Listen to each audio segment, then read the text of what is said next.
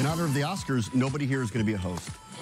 Good, we're done with you. What'd you anyways. think? What'd you think? I thought it worked. Did you? Yeah, I, I went to end. You didn't miss it? Watch. I No, it was nobody great. It missed flowed so Yeah. well. It was Move. fast paced. I liked did it. move. Fyre Festival as well, so he probably doesn't like Ja Rule, James.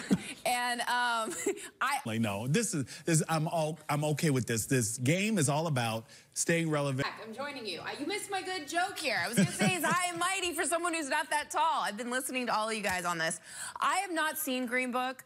I've never seen this much hate, though, in at least in recent years of of people just so outraged that this movie won. There, I agree that their opinion could change up until the last minute, and I agree with that. So if something like that were to happen, Uh, the jury's deciding the Right. fate of that person.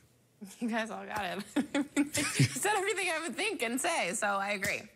I think it gives an unfair advantage. I don't care what you want to be.